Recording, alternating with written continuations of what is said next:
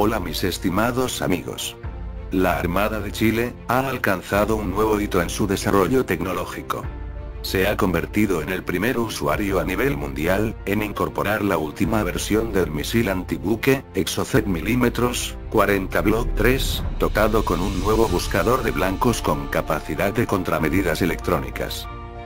Esta solución tecnológica, desarrollada por el consorcio europeo MBDA, permite que la señal generada por el misil para identificar el objetivo, pueda filtrar las emisiones transmitidas por el blanco utilizando un avanzado emisor de contramedidas electrónicas que detecta y discrimina los mecanismos de interferencia electromagnética y señuelos empleados por el buque adversario, para defender del ataque garantizado de esta manera el impacto en el elemento seleccionado. La Armada de Chile, integró este nuevo sistema de arma en la fragata multipropósito de la clase MFF-18 Almirante Riveros. Este buque arribó, el 30 de julio el puerto de Valparaíso tras finalizar un periodo intermedio de dique, efectuado en la planta industrial Talcahuano de artilleros y maestranzas de la Armada. La recepción de estos misiles, no significa que la institución va a retirar de su inventario al Arpón Block 2, que es el armamento antibuque estándar en su flota de superficie.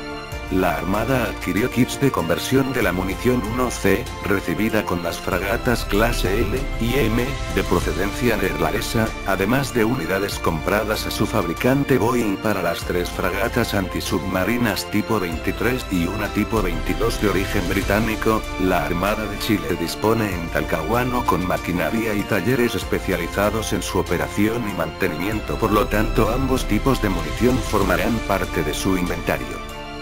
El segundo buque que recibirá este nuevo misil, es la fragata multipropósito de la clase, MFF-15 Almirante Blanco, que comenzó a mediados de año su periodo intermedio de dique en Asmar Talcahuano y se espera que retorne a Valparaíso en el mes de diciembre.